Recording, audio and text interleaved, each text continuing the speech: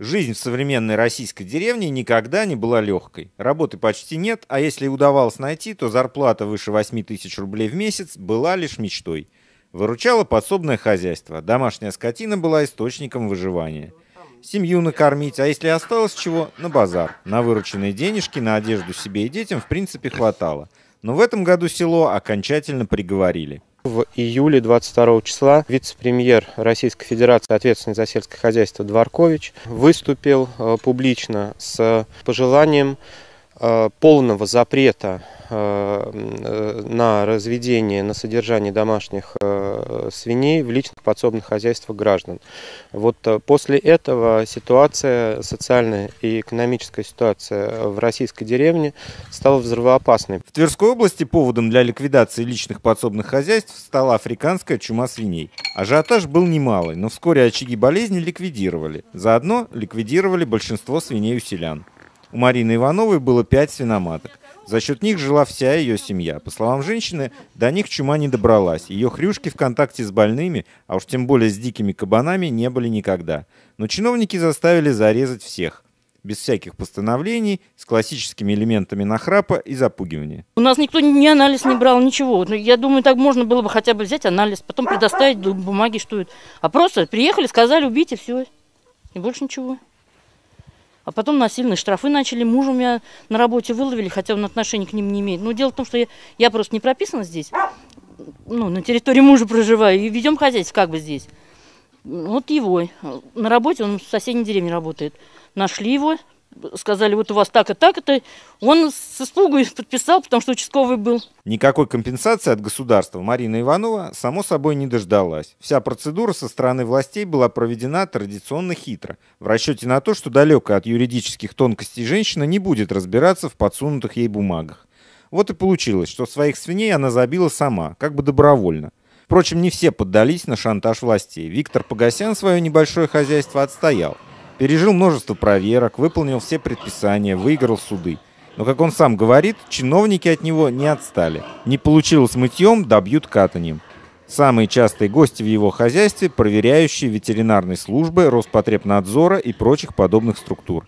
Фермер признается, устал от давления настолько, что почти был готов пустить все стадо под нож. Отговорила семья. Но одного чиновники добились, закрыв фермеру путь на все рынки. Реализовывать продукцию ему запретили.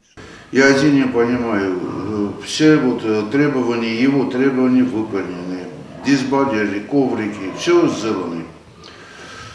Э, если по его инструкции, указаний ветнадзора мы держим свиней, животных домашних, вот эта вся стройка сделана ради этого, тогда зачем запретить? Но если запрещает, пусть запрещает и холдингов.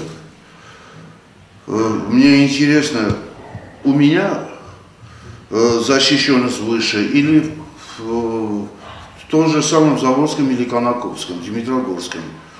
Столько народу туда ходит, столько машин туда ходит, огромная территория. Э, а передача африканской чумы это воздушным путем непонятно. У меня все закрыто, никто не ходит, кроме нас. Как понять, почему там разрешается, у нас не разрешается? О том, что причиной массового вырезания свиней в личных хозяйствах стала недобросовестная конкуренция, в деревнях говорят открыто. Никакая чума не помешала возведению гигантского свинокомплекса в Бежецком районе, реализации подобных проектов в ряде других.